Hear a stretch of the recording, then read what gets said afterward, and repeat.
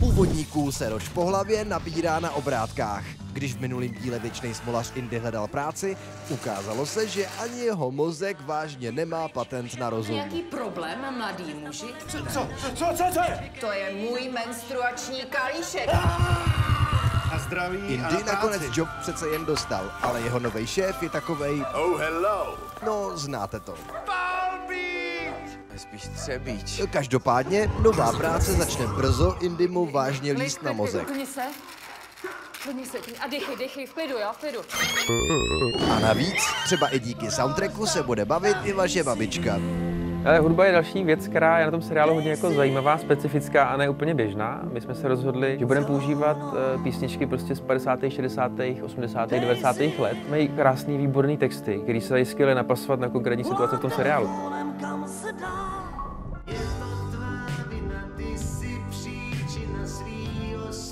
Popsino, můžu tu s tebou zůstat? A co dalšího nás čeká ve čtvrté epizodě? A doporučení svých spolubydlící vlastně navštívit psychoterapeuta.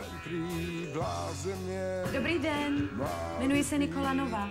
Mě klidně můžeš říkat. Pinda. Indy. Indy. Naprosto v pohodě, jo?